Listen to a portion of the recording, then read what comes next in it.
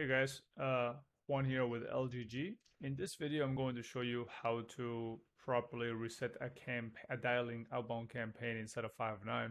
First thing you're going to do is going to be access your your main administrator dashboard and uh, head over to your campaigns.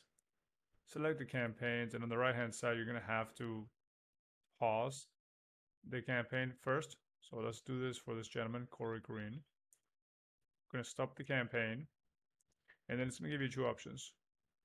You can either reset everything.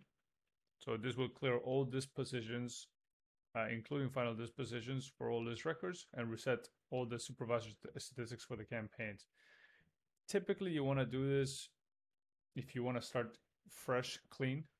Uh, however, if you have a disposition that indicates a successful outcome for the database, you may want to not use this and instead use the op second option, which allows you to then reset everything except for specific dispositions outcomes.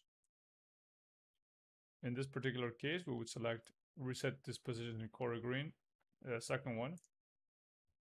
Start date, let's say every disposition that happened for the past year, so July 2020 until let's say today.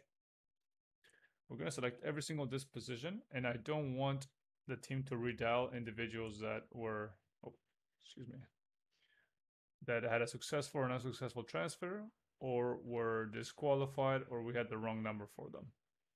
Everybody else, I still want our entire, all the dispositions with my call counts to be reset to zero.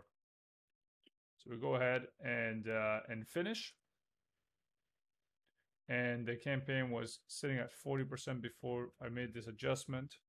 So if I click OK and I click anywhere else, then go back to campaigns, Corey Green is now sitting at 33%.